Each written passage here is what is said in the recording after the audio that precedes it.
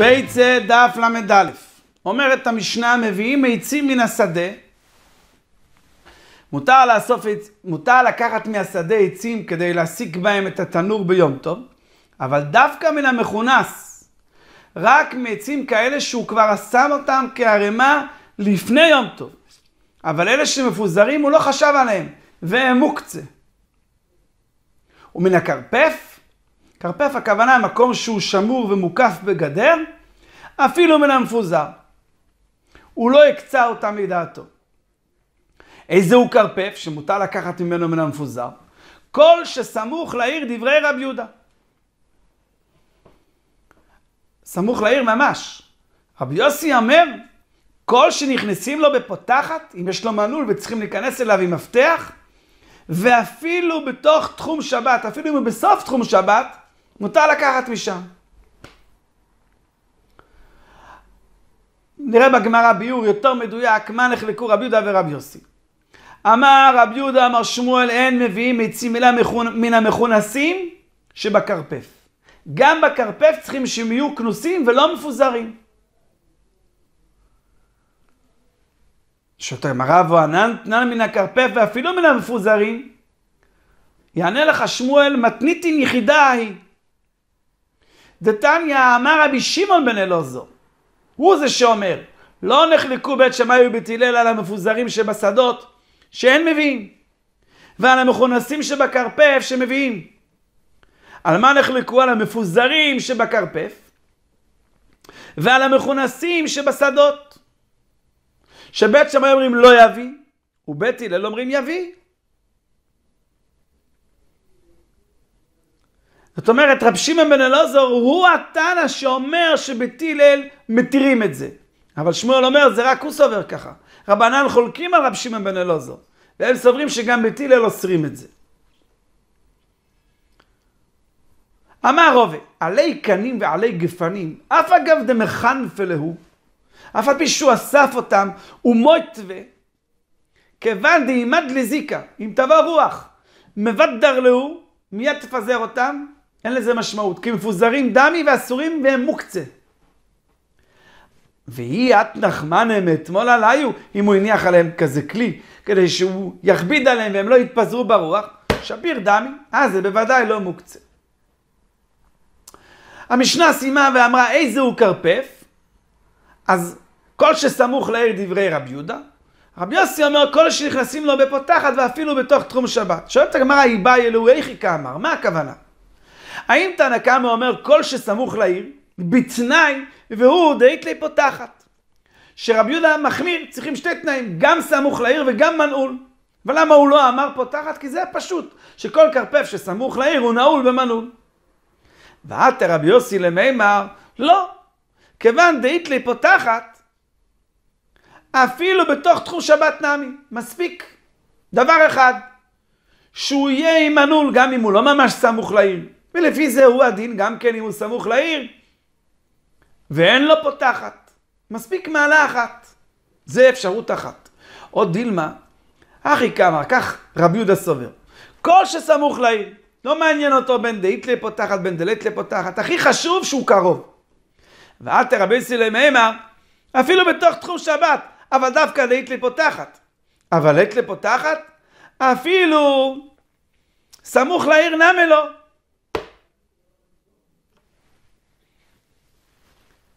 זאת אומרת, לפי הצד הזה בגמרא, רבי יהודה מה שהכי חשוב לו שזה יהיה סמוך לעיר, ורבי יוסי מה שהכי חשוב לו זה שזה יהיה פותחת. כל אחד מהם סובר דגש על עניין אחר.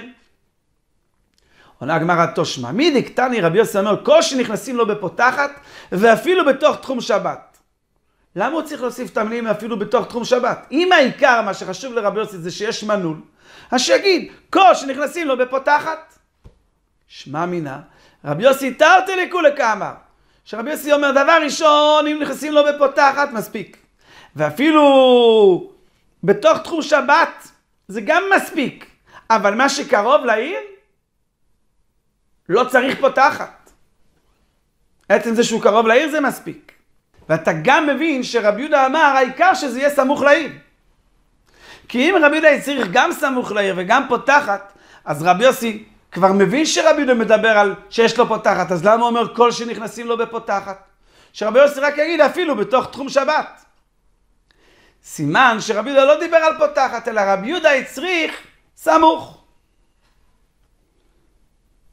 שמע מינה.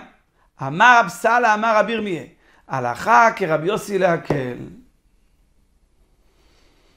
אומרת המשנה, אין מבקעין עצים, לא מן הקורות, הכוונה הקורות שעומדות לבנייה, למשהו אחר, ולא מן הקורה שנשברה ביום טוב, כי הם מוקצים. ואפילו את העצים שכבר כן מותר לבקע, אין מבקים לא בקרדום. קרדום זה שיש לו פה רחב, ששוברים איתו עצים. ולא במגירה, לא במסור ולא במגל, אלא בקופיץ. קופיץ הכוונה שיש לו פה צר, חד. אז כל המגמרא שואלת פשט. ואמרת הרי שאין מבקים כלל, איך פתאום אתה אומר שמבקים בקופיץ?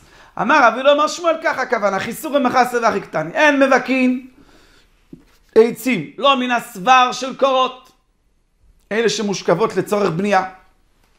ולא מן הקורה שנשברה ביום טוב, כי הם עצים מוקצים. אבל מבקים מן הקורה שנשברה מערב יום טוב, שהיא מיועדת להסקה. וכשאין מבקין את המותר, אין מבקין לא בקרדום ולא במגע ולא במגע, אלא בקופית, שלא יהיה כדרך חול. תני נמי אחי, אין מבקין עצים לא מן הסבר של קורות ולא מן הקורה שנשברה ביום טוב, לפי שאינו מן המוכן. ולא בקרדום. אמר רב חילי לבר שלמיה משמי דרב לא שענו אלא בנקבות שלו, בחלק הרחב של הקרדום. אבל בצד בזכות שלו, בצד הצר מותר. פשיטא. בקופיץ תנן, והחלק הזה זה כמו קופיץ. עונה הגמרא, מה עוד יותר מאנה מילה קופיץ לכודי. אבל הכלי הזה של קרדום וקופיץ, שמצד אחד אסור להשתמש, אז אפשר היה לחשוב, אימה מתוך ניגוד האי גיסי אסור, האי גיסי נמי אסור, אסור בכלל להשתמש בכלי הזה. קומש מלון שבצד המותר מותר. עד כאן גרסה אחת. ואיקי דמתנה לה הסייפה. מה שאמרנו בסייפה שמותר בקופיצה. מה רב חיני דבר שלמה משמי דרב לא שנו אלא בצד הזכות שלו. בזה מותר להשתמש, אבל בנקבות שלו אסור. פשיטה. כתוב ולא בקרדום תנן, אסור להשתמש בחלק הרחב. עונה הגמרא, מה עוד יותר מהנמי לקרדום? אבל קופיץ וקרדום ביחד, אי ממיגו דשאי גיסא שרי, כבר נתיר את שני הצדדים הגיסא נמי שרי, קומש מלון, שבצד רחב אסור אף פעם לבקע. אומרת המשנה, בית שהוא מלא פירות ונפחת, נפל הקיר, נוטל ממקום הפחת. ולכאורה זה קשה. למה אתה לא אומר שזה היה מוקצה? אז נראה, כפי שהגמרא תבאר את רב מאיר, אז נבין איך מדובר כאן במשנה, ונבין למה זה לא מוקצה. רב מאיר אומר, אף פוחת לכתחילה ונוטל. מותר לו לכתחילה לפתוח את הקיר. שותה גמרא מיד, המים וכוסתר עולה, מותר לשבור קירות ביום טוב? אמר רב ניחומי בר עדה אמר שמואל, כאן מדובר באוויר דליבנה, בערימה של לבנים מסודרות בלי טיט.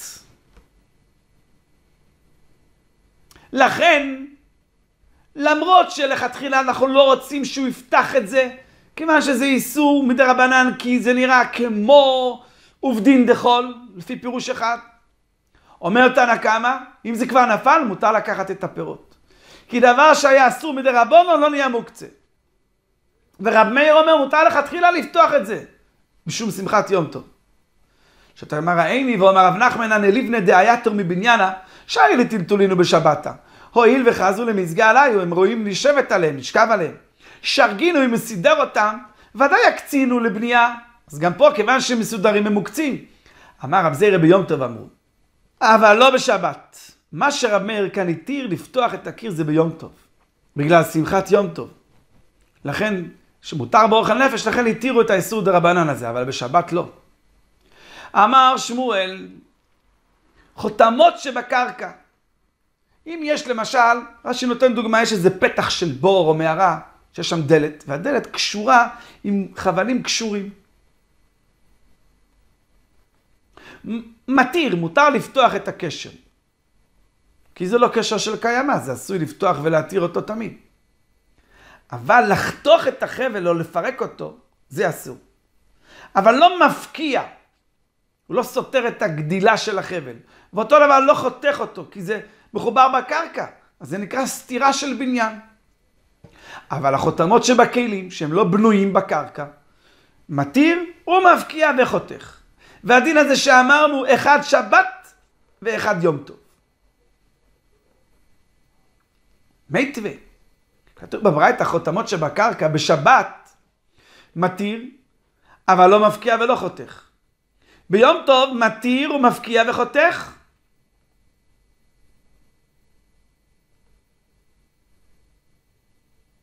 אתה רואה שלמרות ששמואל בחותמות שבקרקע החמיר, פה ביום טוב מתירים גם חותמות שבקרקע. עונה לך שמואל, הומאנה רב מאירי. דאמר אף פוחת לך תחילה ונוטל, אז הוא זה שמקל גם פה לחתוך ביום טוב את החבלים האלה. צריך לומר שזה לא איסור דאורייתא.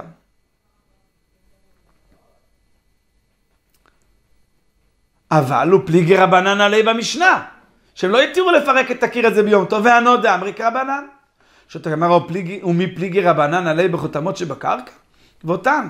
ואותן ימודים חכמים לרב מאיר בחותמות שבקרקע שבשבת מתיר, אבל לא מפקיע ולא חותך. ביום טוב מתיר ומפקיע וחותך. אז עוד פעם חוזרת השאלה, למה שמואל החמיר ביום טוב? עונה הגמרא, שמואל שהחמיר, באמת לא כמו הברייתא הזאת, אלא כמו ברייתא אחרת. הוא דאמר כאיתנא דתניא, חותמות שבקרקע מתיר, אבל לא מפקיע ולא חותך, אחד שבת ואחד יום טוב. ושבכלי, בשבת מתיר אבל לא מפקיע ולא חותך, ביום טוב מתיר ומפקיע וחותך.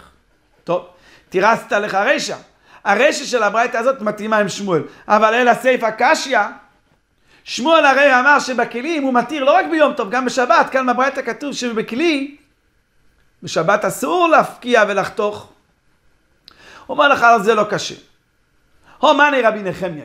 מה רבי נחמיה? רבי נחמיה יש לו שיטה חדשה. שהוא אמר, כל הכלים אין ניטלים, אלא דרך תשמישם.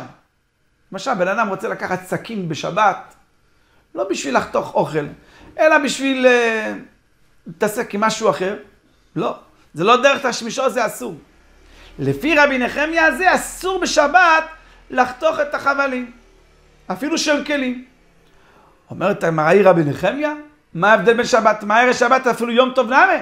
מצד מוקצות, מצד האיסור של הכלי, צריך לאסור גם ביום טוב.